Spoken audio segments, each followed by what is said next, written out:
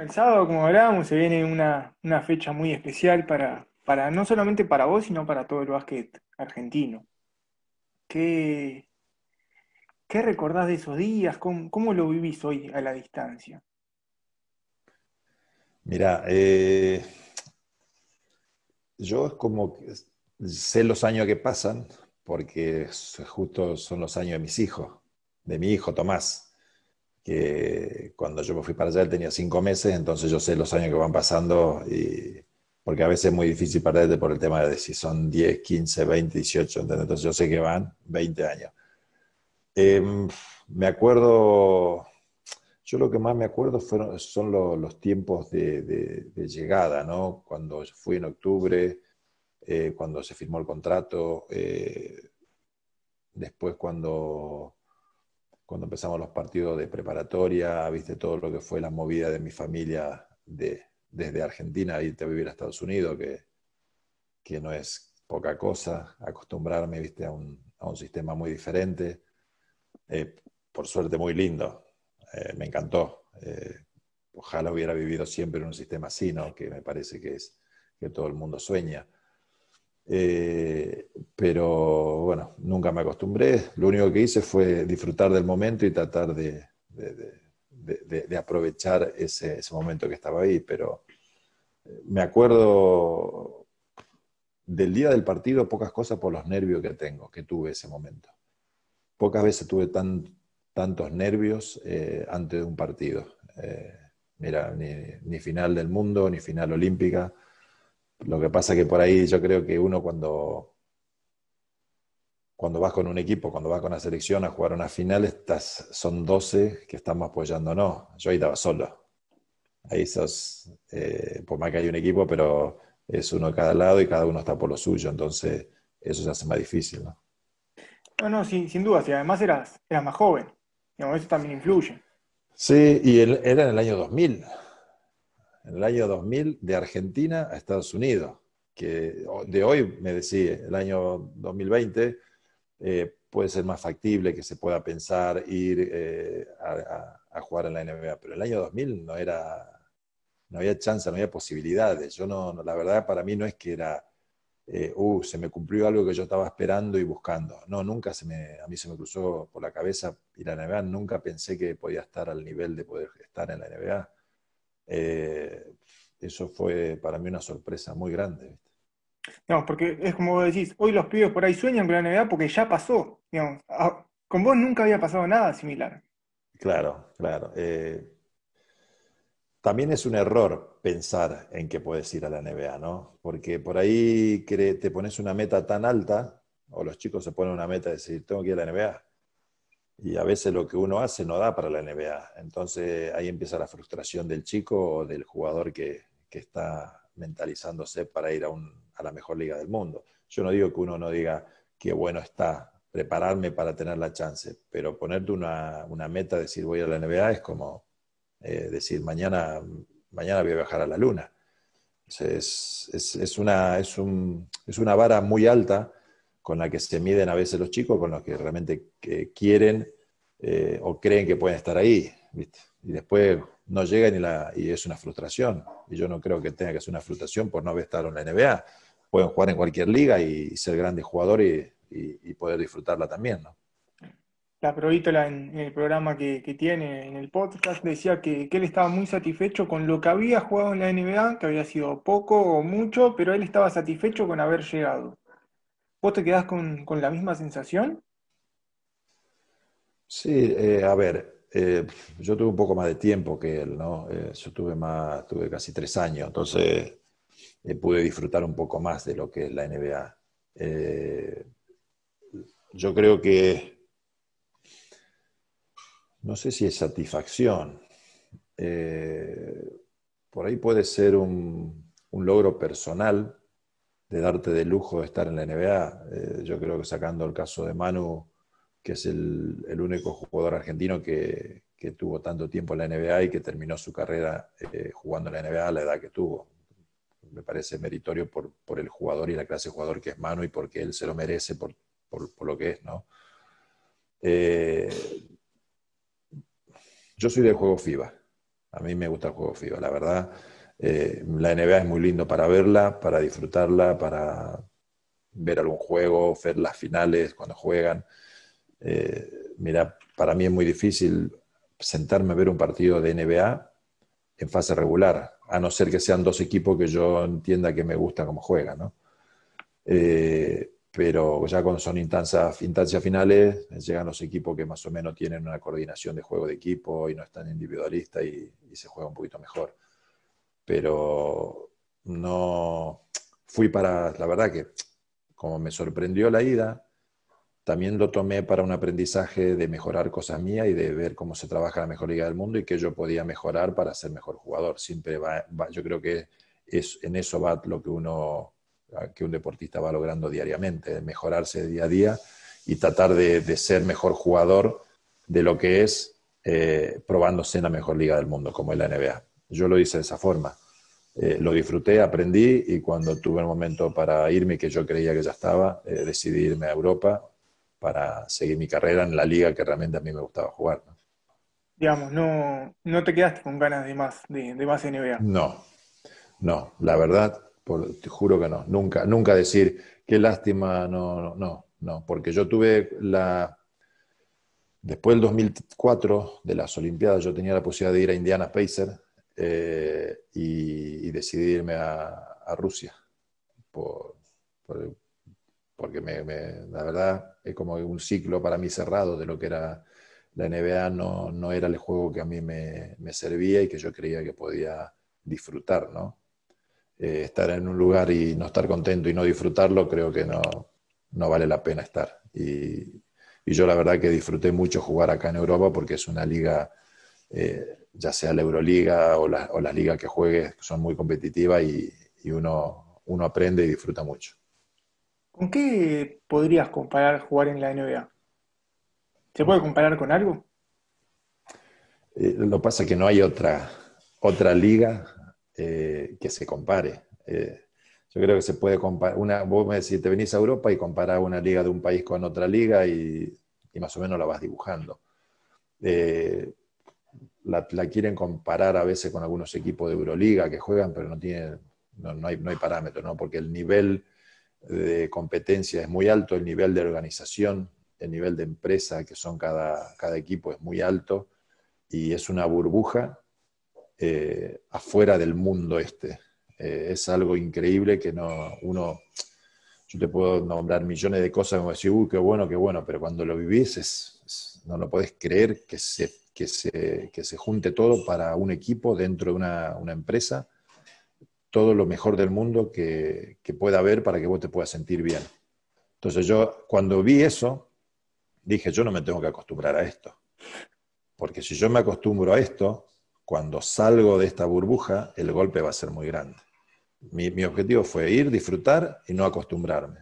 Eh, yo creo que se puede acostumbrar a un jugador que hace toda su carrera en la NBA, posiblemente porque, porque está 20 o 20 y pico de años jugando en, una, la mejor liga del mundo, se puede acostumbrar, ¿no? Y puede tener nivel de, LeBron James, Michael Jordan, todos jugadores estrella en la NBA, pero eh, nosotros no, nosotros somos, nosotros pertenecemos a otras ligas y venimos de otro lado. ¿tenías miedo a mal acostumbrarte? No, no, no, no, nunca tuve miedo, porque yo sabía dónde estaba parado y lo que yo quería y lo que iba a hacer. Eh, mal acostumbrarme nunca tuve miedo, sabía eh, de lo que, a lo que yo iba, yo sabía lo que iba y, también sabía de dónde venía y sabía de mis raíces, de lo que yo viví, de lo que yo, de dónde soy y todo lo que, lo que a mí me formó para llegar ahí. Entonces, acostumbrarme a eso era como renegar o olvidarte realmente de quién sos o de dónde venís. Y estos pequeños detalles que vos decís es algo increíble, digamos.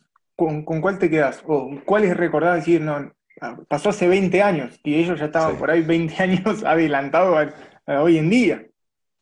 El, a ver, el, detalle más, más impactante para mí eh, fue que cada equipo tenga su equipo, su avión propio para, para viajar a, a todos lados, ¿no? Eso fue calculado, no sé, venir de Argentina, donde vas en micro, y me voy más atrás, cuando yo jugaba el, el antiguo TNA de Argentina, que íbamos en, en, en, camioneta, en autos, viajamos para jugar, o a veces ponían colchones para dormir, que pues, pero se viajaba veintipico de horas. Eh, saltar a eso, eh, que cada uno tenga su propio avión, o subirte al avión de Dallas y que vos vayas, tu, tu asiento es acá, y vos veas que dice Rubén Volkovitsky en el asiento, la mantita para taparte dice Rubén Volkovitsky, que tenga tu menú que vos habías pedido para comer, tus películas, todo en tu asiento, todo como que no te faltaba nada. Y no te estoy hablando, imagínate ya, de, la cancha, de los entrenamientos, de, las cosas que te dan dentro del entrenamiento, no te estoy hablando de, lo que es afuera, de, las comodidades que hay afuera, de lo que es el juego, la comodidad que hay afuera para, para cada jugador, ¿no? de lo, cómo se prepara cada, cada empresa para que el jugador se sienta súper y que no le falte nada. Si no me, si no me equivoco, son 12 nada más los argentinos que jugaron en la NBA. Y vos sos, uno de ellos. ¿Qué, ¿Eso qué, qué, te genera personalmente? Porque además, como decís, vos sabés de dónde saliste y a dónde llegaste. Eh, me genera mucha satisfacción por, por todo lo que yo pasé para llegar ahí. O sea, yo creo que uno a veces mira cuando un jugador está en la cúspide, cuando está en su, en su mejor momento, y, ese jugador disfruta ese momento. Pero ese jugador es el único que sabe todo lo que vivió para llegar ahí. Todas las cosas que uno deja de lado, familia, eh, de viaje de estudio, de, cumpleaños, de, de, los padres, de las madres.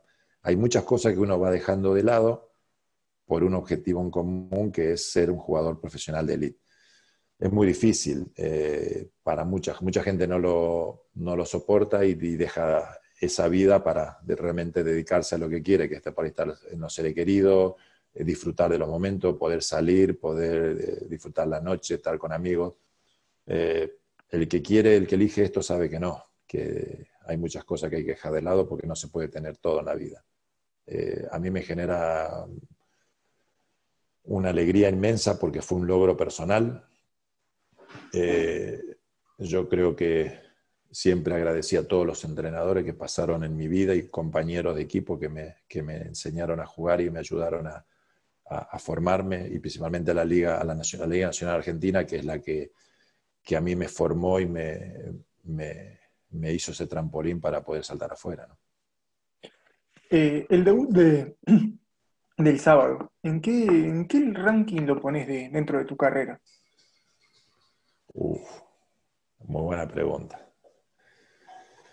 A ver, yo como, como siempre número uno, para mí lo, lo, lo, mejor de mi carrera fue ser campeón olímpico. Eso, eso es arriba de, cualquier cosa. Es, no, no, no, no, tiene comparación con nada por, por el valor que tiene la, la, medalla olímpica, ¿no? Eh, porque aparte es un, eh, lo hice por, pasión, no lo hice por dinero, no lo haces por plata eh, el jugar una, por tu selección, entonces cuando vos, lo haces por pasión, eso no tiene valor, eso no tiene precio, no hay nada que se pueda comprar eh, ese sentimiento. Después la, llegada y el partido puede ser el, el, número 12, haber estado en la NBA y haber debutado el sábado, que, que, ya se cumplen 20 años por eso yo creo que, que ese nervio me jugó muy en contra en, en ese momento por, porque era algo que yo estaba solo y lo estaba haciendo solo. ¿no? ¿Y qué, qué partido recordás de la NBA más allá de este? Que vos digas, no, este fue mi gran partido en, la mejor liga del mundo. Uh, hay varios partidos. Eh, hay un partido contra Sacramento, eh, que fue el partido que entré titular, el primer partido que entré titular, me acuerdo de los cinco minutos, Miller, el, el pivot de Sacramento, me abrió de un codazo toda la ceja. Eh, el médico me dice, bueno, vamos, me fui al vestuario. Es más, me habían cortado, yo había agarrado el rebote, ataqué, volví y el árbitro me dice, para, me dice, ¿tenés sangre? Y yo no, no, entendía. Imagínate la adrenalina que tenía, no tenía un tajo así acá, no entendía. Tenía, bueno, sangre, me voy adentro, me limpia el médico. El doctor me dice, no tengo anestesia para coserte. Le digo, vos cosé. ¿Seguro? Le digo, vos cosé, que tengo que volver a jugar. Mi primer partido titular, imagínate. Así que me dio seis puntos y me puso una, bendita y volví y entré y volví a jugar. El, médico, no, viste que para ello todo el dolor hay que cuidar. La verdad que no, él no podía creer. Me dice que el umbral del, olor tenía, del dolor tenía muy alto yo, entonces que me podía aguantar. No, me lo aguanté porque era la situación de lo que yo quería, de lo que yo amaba, eh, era estar dentro de la cancha y haber sido titular. Aparte estaba, había, había empezado a jugar bien, estaba bien, estaba muy motivado y eso hizo que, que, bueno, digo, no, me vuelvo a jugar de nuevo. Entré y volví a jugar, sí.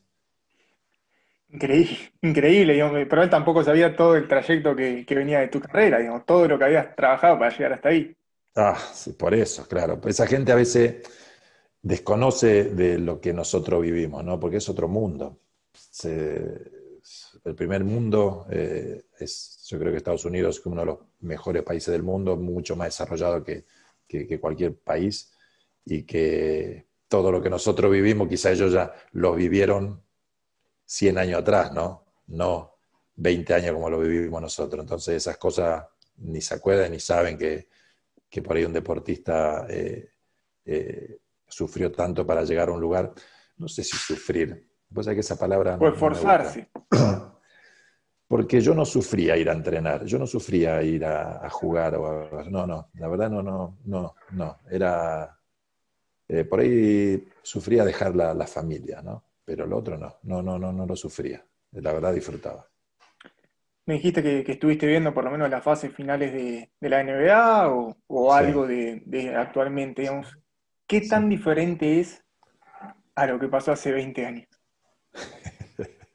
Jugábamos en cámara lenta. Vos fíjate que, que, estaba Jordan en esa época y Jordan era rápido, saltaba y tenía una, creo que hizo un cambio de la NBA. El Jordan es, un antes y un después de él, ¿no? Por, la, por los jugadores que vinieron y se copiaron de lo que hacía él. Eh, pero hoy ver la NBA es, es vertiginoso, es súper rápido. Eh, hay una dinámica de rebote y tres, segundos estar tirando. Y aparte estar tirando de nueve metros y, la meten como si nada. Entonces, es otro, es otro, es otro ritmo, es otro ritmo, otra, otro básquet. No solo hay, en el FIBA también, a nivel a nivel del mundo el nivel de, velocidad cambió y se juega a otro ritmo, ya hay mucha más... Eh, no hay tanto control del juego, ¿no? sino hay más libertad para que el jugador pueda expresar y pueda jugar y tirar de, de, cualquier lado. Y en la NBA, ni te digo, la NBA es, no se puede creer. ¿Y te verías en la NBA de hoy? Sí, yo creo que sí, cualquier jugador, porque eso es parte de la preparación y de la formación que uno va tomando como, deportista. Yo no creo que, porque nosotros antes jugábamos más lento no podíamos jugar acá ahora. No, era la preparación que te llevaba a jugar a ese ritmo. Hoy hay otra preparación, otra, otra forma de preparar, se preparan a los deportistas, a los jugadores de otra forma, entonces el jugador es mucho más, más atlético y, salta mucho más, eh, es mucho más hábil con, el, con la pelota. Mm, eh, Davis eh, de los Lakers. Es más alto que yo y pica mejor la pelota que, Pepe Sánchez. No sé. Tira triple Salomano. ¿Entendés? Entonces, eh, todo eso cambió. a ver, vos qué me decís, ¿qué me hubiera gustado a mí ser, hacer que no hacía antes? Picar la pelota como pican todos los grandotes ahora. Porque antes al grandote si vos agarra el rebote y se la da al base, no pica la pelota eran todos los, técnicos argentinos, eran así. No me van a venir a decir, no, no, yo, mentira, ningún técnico incitaba a que vos salgas picando la pelota. Ninguno. Al grandote agarrá y vos dásela al, chico, al, base.